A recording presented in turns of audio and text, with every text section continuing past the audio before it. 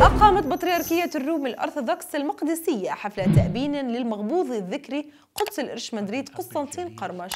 وذلك على مسرح المبنى الثقافي الرياضي لجمعية الثقافة والتعليم الأرثوذكسية وفي البداية تكلم سيادة المطران خريستوفورس مطران الأردن للروم الأرثوذكس عن مكانة الإرش مدريد قرمش في جسم الكنيسة المقدسية إكليريكيا واجتماعيا والخدمة الجليلة التي قدمها في حقل الرعاية والمجتمع.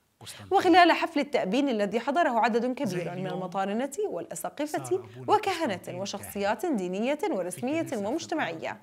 عبر متحدثون عن دور الأب قرمش الوطني والروحي والمسؤولية التي كان يحملها تجاه الكنيسة.